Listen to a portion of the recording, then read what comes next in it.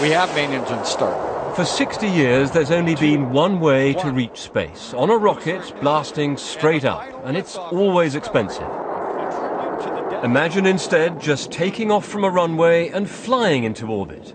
Meet Skylon, a British design for a space plane. It hasn't yet been built, but the project has reached a crucial stage.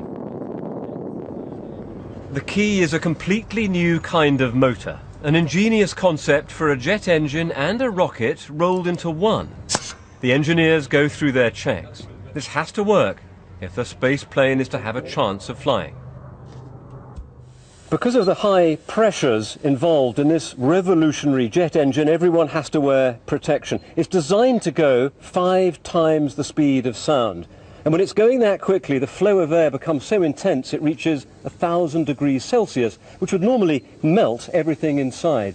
But this unique device cools the air to well below zero, which should make space travel easier.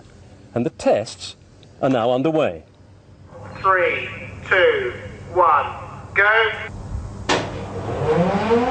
This is one of a series of experiments to check if the idea is viable. 10,000 RPM. This small band of engineers has worked with very little funding. So far so good, and the designers are thinking big.